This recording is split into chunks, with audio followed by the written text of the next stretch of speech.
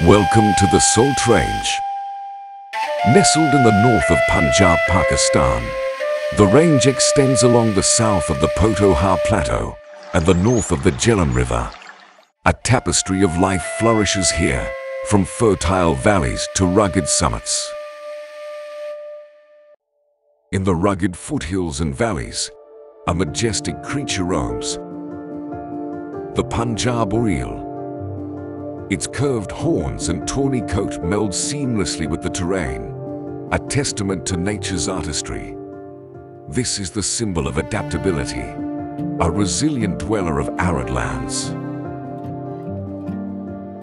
Hence extends far beyond their graceful presence.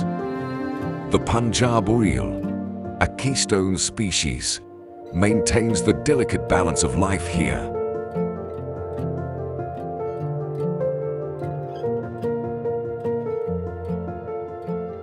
Nourishing a web of existence that stretches throughout the land. But with beauty comes vulnerability. The shadow of illegal hunting casts a dark cloud over their existence. The government fights a tireless battle to protect these majestic creatures.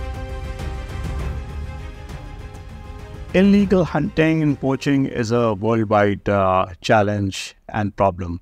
I mean, uh, wherever you would uh, talk about hunting, so there are two types of, uh, you see, two aspects to this. One is the legal aspect and the ethical aspect. The other is unethical and illegal aspect. A ray of hope emerges, a revolutionary concept. The trophy hunting scheme, established in 2007, bridges the gap between conservation and controlled hunting. Trophy hunting is a very novel idea where, uh, especially in the context of Pakistan, where again, a population, uh, uh, you see, poses a threat also, and it is a serious challenge uh, in terms of wildlife conservation. Uh, because, you know, populations, they, uh, they, they, they, put a lot of pressure on the wild populations of animals and species. at the end of the day, it's all about survival. And so uh, it, it is a concept which was launched and it is an internationally renowned and an accepted and a, a time-tested uh, uh, mechanism by which communities, local people are involved in the conservation.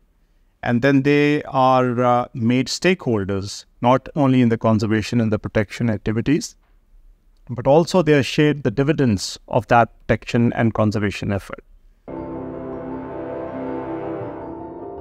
At the heart of this transformation lies a community united by a common purpose. Local villagers, forming a community-based organization, stand as guardians, protecting the legacy of their land.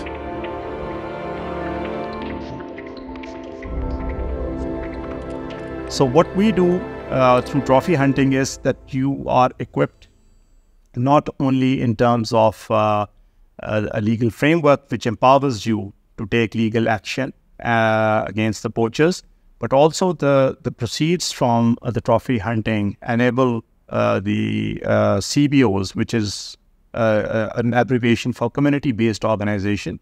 So the money, the funding stream coming from the trophy hunting provides for salaries for those people who, instead of poaching, they start protecting the species.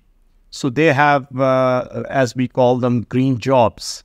Uh, the trophy hunting uh, money provides uh, for green jobs for the local people, for the poor people, who are given this financial incentive that if you protect this animal and uh, do not uh, poach it or do not let others poach it, so you would be rewarded financially also. Your incomes would be secured.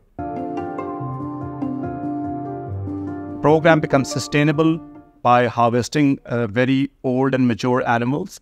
And that's uh, uh, scientifically proven that when older animals are removed, the younger animals breed effectively and more, uh, you know, uh, uh, in, in a positive way.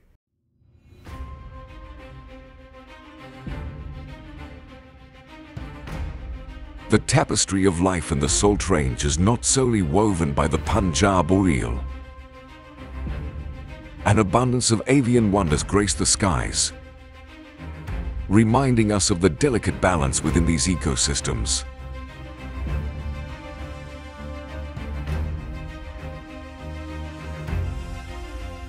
In the complex ecosystem of the Salt Range, where the fate of the Punjab urial is intertwined with all other life,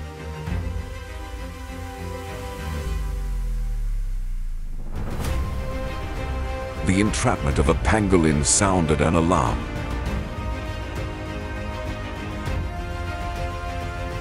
The community came together in response.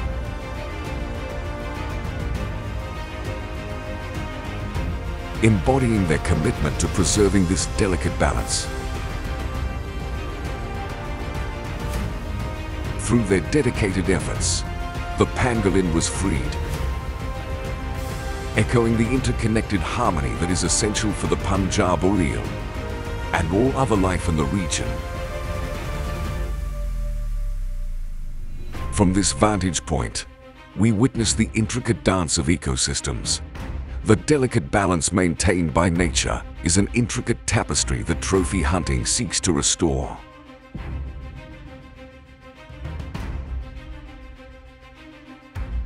And so, the debate unfolds. Can hunting play a role in conservation? Experts weigh in on the complex dance between preservation and progress. It's, it's a struggle and a war between, uh, you know, the good and the bad. Because you see, poaching is bad, but hunting, ethical hunting, sporting, uh, uh, you know, hunting is, is, is a sports, is, is something which has been there since human civilization. I was born in a family where my forefathers, my father was a very keen uh, hunting sportsman, and my forefathers, my elders who trained me, uh, they were very known uh, hunting sportsmen in their own times and in their own capacities. Uh, in, in, in our particular area where Padhri Reserve and its CBO uh, are established, uh, you could hardly see uh, you know, in Real Punjab Urial in 2007-8. It was uh, a rare sight at that point in time. But uh, from 2010 to 2017, the population in our area rose above a thousand. It was remarkable and it was mind boggling to see the population coming back in such large numbers. The only thing uh, we did was uh, to protect nature there was hardly any intervention. We only protect, we only protected and conserved the nature. And if you let nature heal itself, I think it is the best way to uh, you see interact and deal with nature because you if you start meddling with uh, uh, nature or the uh, you know uh, the, the, the scheme of things that uh, the creator has designed then you may not get those results. But we, what we did was to simply protect and enable those uh, factors which were critically important for the growth of Punjab Urial. It has really worked really well, and the numbers have really come back, and we've been able to stop the decline and reverse the population of very, very threatened species in Pakistan, such as markhor, such as ibex, Punjab Urial, As we near the end of our journey, one thing becomes clear. The delicate balance between humanity and nature remains a riddle unsolved.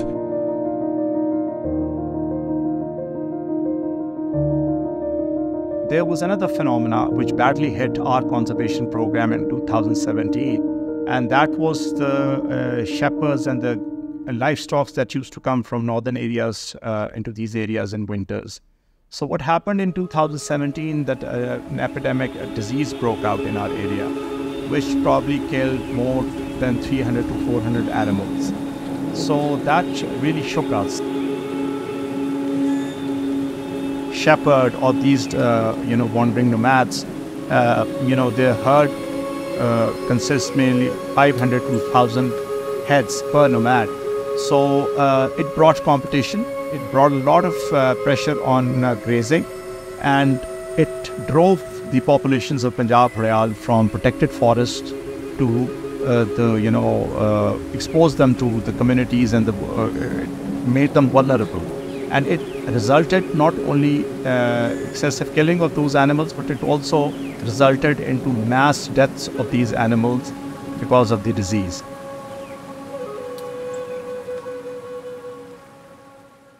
In the end, the Salt Range area teaches us that survival has a price.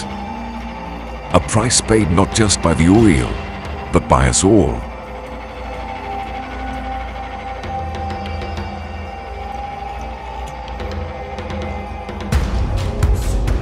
And as the sun sets on this day, the echoes of their existence resonate, reminding us of the choices we make.